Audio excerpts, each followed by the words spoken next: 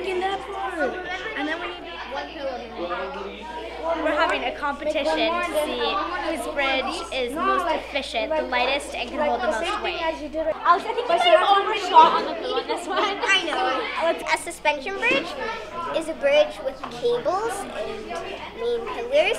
And so how it works is that the load would be go into around the mi- the middle of the bridge and then it would be distributed to the pillars and all the way to the land. This kind of bridge takes a lot of labor, but it can span the longest distances. By building bridges today, I learned that um, it's not as easy as it looks. The hard parts of building a bridge are just um, trying to get it to stabilize. This is called the keystone right here. It's very important, and if you didn't have a keystone, the whole thing would fall down. These joints are here, so they kind of like spread apart as more weight. Yeah, they they yeah, flex exactly. So.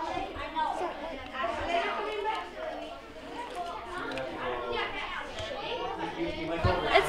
We're almost done with the second support, and then we just have to make one more, and we'll test out our bridge. So this one is the support beams to give the bridge more stability. These are the pillars that hold up the roadway. Uh, I think our bridge is going to be pretty sturdy because it doesn't feel very heavy, and it's kind of it's not very.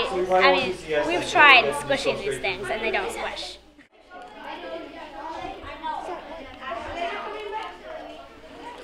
I think it's gonna snap holding nothing. It's already Let's see. Let's It's already bending. I know.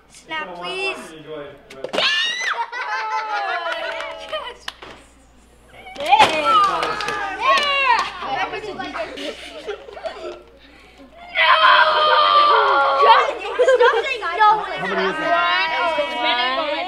Dude, it's already off.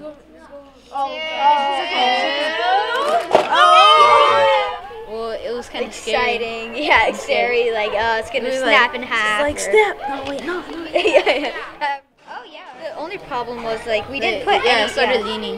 Yeah, so it started leading. So we should have like put like beams in the center connecting it. So So it would've been because it was stable. leaning like this. It's like it's like you talk about them, but it's like the hands-on thing makes it much more interesting, and it, it, it, you really understand the concept better once you actually like do something